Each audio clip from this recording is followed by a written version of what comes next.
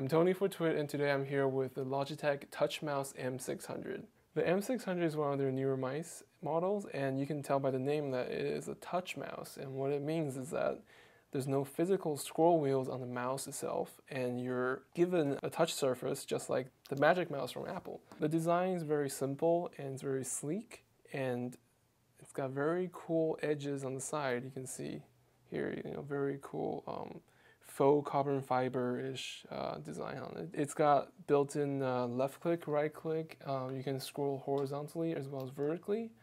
And from what I read on their website, they really target this mouse uh, for sort of productivity, kind of uh, web browsing and things like that.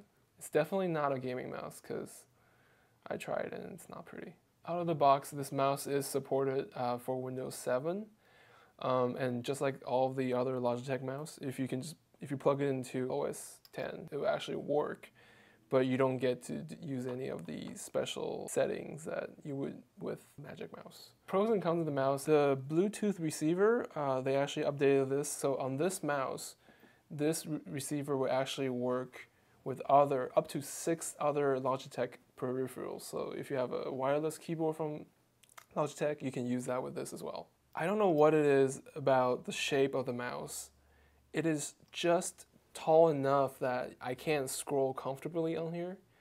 And I compared it with um, the Apple Magic Mouse, and that's actually a little bit lower in profile. And I think that's one of the reasons why Apple sort of made the Magic Mouse so flat. Buy, try, or don't buy, I would definitely say it's a try.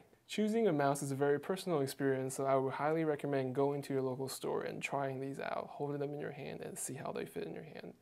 I'm Tony for Twit, and this is the Logitech Touch Mouse M600.